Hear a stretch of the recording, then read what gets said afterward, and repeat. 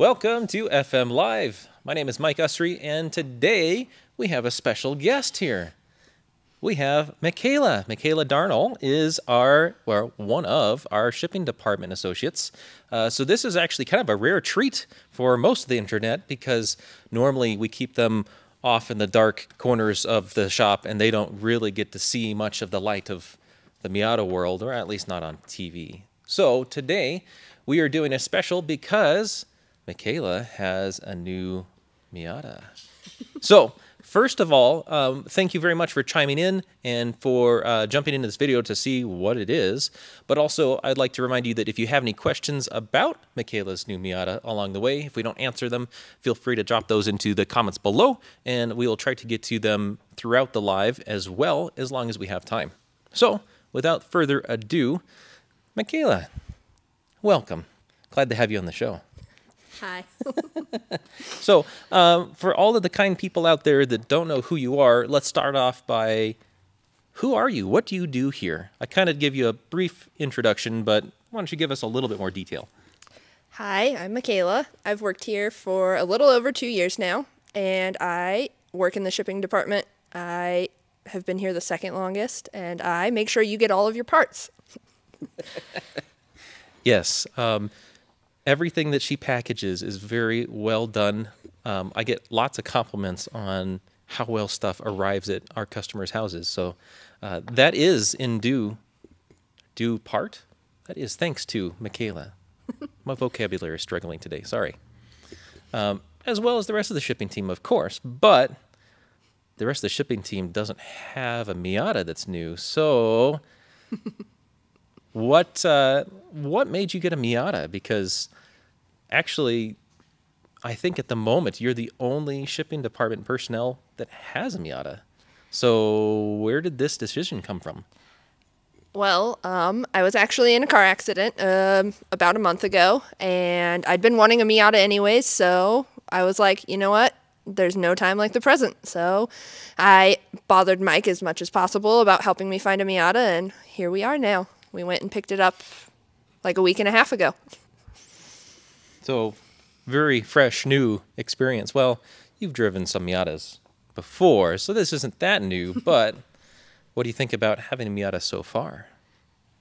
I love it. Uh, I drive it with the top down as often as possible. Sadly, it's almost winter here in Colorado, so uh, the top down will no longer be an option unless I want to freeze to death on the way to work every day. But um, so far, it's been amazing. I drove it to Denver this weekend, and it was super rad. So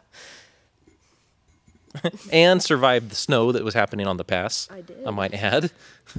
That's a thing in Colorado. You never know. You go over the mountains, maybe there's ice and snow. You don't know because you go through one side of the tunnel and it's nice and sunny, and the other side, uh, you might be sliding off the road. Eh, it happens, you know. So, we've probably delayed long enough. Should we reveal your new Miata? yeah, Okay. Well, do your best, Vanna White. my new car. Woo! nice. So, of course, um, because it's my favorite Miata, we're gonna have to do this properly. Yeah. So, Makayla, um, why don't you give a brief rundown of what this is? This is the SS Shroot, my 2011 NC power retractable hardtop. Uh, she came with some fancy club wheels, and uh, yeah, she's new to me. She had 74,000 miles on her when I got her, and Mike and I went back and forth through Facebook ads and Auto Trader forever to find a power retractable hardtop, and this is the one I ended up with. Because best Miata. Yes, yes. so, um, one of the more popular questions that I think some people kind of guessed preemptively going into this, uh, one of the popular ones was, Are you joining the yacht club? Because, I am most definitely joining the yacht club. The yacht club was a big deal to me when Mike got his NC, and so I was like, "Oh, duh, have to join the yacht club as soon as I get an NC." So we added the uh, yacht club sticker on the back today, and uh, I'm pretty excited to be part of the yacht club. I'll probably end up with a cool hat like Mike's at some point. So when we go on drives, I can uh, show off like Mike. You're making me sound a little egotistical. Nah. My guys in the background are nodding. well, congratulations, by the way. Um, I'm very proud. I obviously uh, like having more yachts in the fleet, as it were.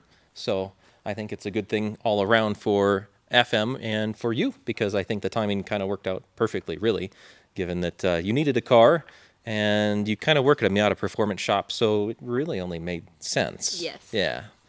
So, uh, is this your first Miata? It is my very first Miata. It's not the first Miata I've driven though. I have got to drive the shop car, shop cars luckily, which has been super helpful and I always dogged on the NCs, not going to lie. But then I drove Nancy a month and a half ago and was like, "All right, I have to get an NC. Like there's no there's nothing better." That's all right. I am forgiving. I can accept that. Now you've seen the light. Everything is all better. Yes. Yes. Yes. so, um, obviously, you've mentioned that you like the NC, but why this specific one? Why this trim? Why these options? I did not really like the way the soft tops looked. I don't like the way that they go back. I don't want to have to push it back myself. Pushing a button is so much easier. So I was like, we have to find a hard top. Plus, I have a kid who rides in the car with me, and his little grimy fingers on a soft top sounded gross. At least the hard top seems easier to clean. So I was like, we have to get a hard top. Um, and I had to have a black car. Uh, it was a requirement. Yeah, I'm a big fan. I think that uh, actually in all black like this, it's really sleek. Um, I'm not usually a fan of all black vehicles just because, I don't know, I like a little bit of color, a little touch of flair, pizzazz. But actually, in all black like this, and especially with the, the club wheels, it's pretty sleek. So I don't know if you'll convert me to liking black cars, but I, I like it. I I'll think yours is pretty cool. Okay. So, um, you kind of mentioned it actually already. One of the other questions we got beforehand was how did you find or research this car? You know, what steps did you go through that you were looking for a car to begin with? Because um, for a lot of our watchers, our viewers, um, Grand Valley is not really the best place to buy Miatas. Most of the Miatas that are here in the Grand Valley are here. so, um, you said you had to go to Denver. What process did you have to go through in order to find this car and then decide that it was the one?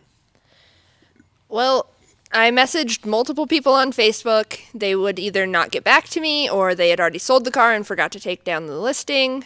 Um, and then I dealt with one very pushy, annoying uh, sales place in Denver. So I was just like, I can't handle this. And then this car magically showed up on Auto Trader, and I was just like, this is the one. We got to go to Denver, Mike.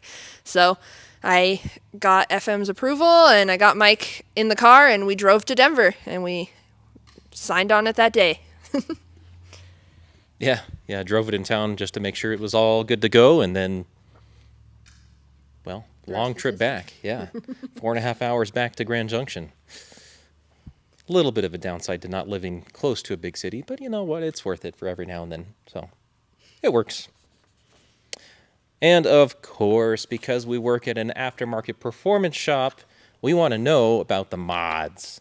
So this car, you know, on the outside looks pretty stock. Did this car have any modifications when you bought it? Uh, the only real modifications it has currently were the club wheels, which did not come stock on this model. But um, I'm going to be upgrading it as soon as possible. I already bought Fox suspension for it, like two days after I bought it, because you know I work here. Um, we haven't got a chance to install them yet. I already changed the door bushings to FM door bushings. As soon as the roof controller comes back in stock, that's going in. And as soon as Mike and I have a chance, we're going to install an aftermarket uh, radio. Yeah, I was thinking, what's that in the center console there? Oh, yes. And the Craven Speed uh, shift knob was something that I definitely had to have. The shift knob that came with this car was garbage. Yeah, I don't I don't know that this car really has spent much time doing canyon carving or autocross before you owned it, so I think having a, a nice sporty shifter in there and not uh, the really oddly shaped one will be a big benefit. yes, I already love the Craven Speed one. Yeah. Well, so uh, here, I guess I'll grab this for just a second. Besides the foxes, do you know, like, are there any other big plans for the car? Are you planning to do anything specific to it to go racing? What's what's the big dream with this car? I just want to go really fast, you know, shake and bake Ricky Bobby. Um, so as soon as the turbo parts are in stock, I am putting a turbo on it. No matter what, that's the ultimate goal is to go as fast as I possibly can. Uh, I will probably end up at the autocross track. My coworkers have already been trying to talk me into it, so I will probably end up there. Um, and I've already driven it over the monument, but I can't wait to see how it feels going over the monument with the new suspension. Yeah, you've got actually this car. You didn't. I don't know if you mentioned it. It's got the stock sport, yeah, sport suspension with the Bilsteins on it.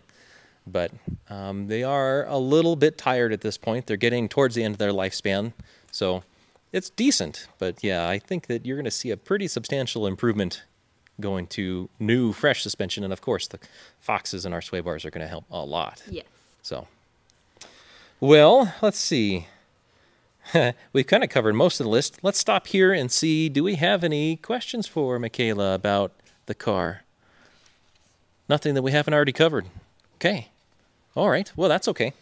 So, um, the last bit of this that I have questions in advance about is that obviously this is your new baby, but do you have a dream Miata? And is it this car or is it something else? The ultimate dream is a V8 swapped ND.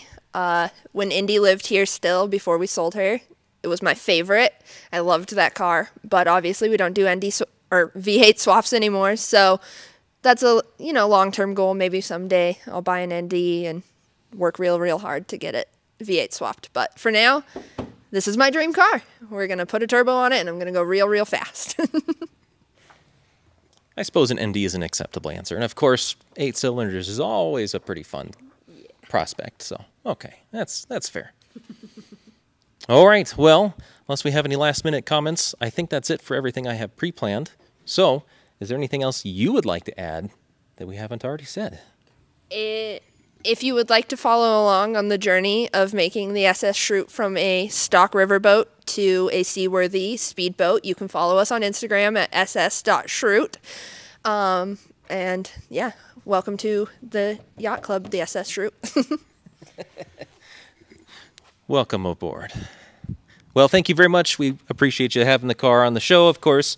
Uh, I think that a lot of people are going to be excited about another SS Shroot in the fleet.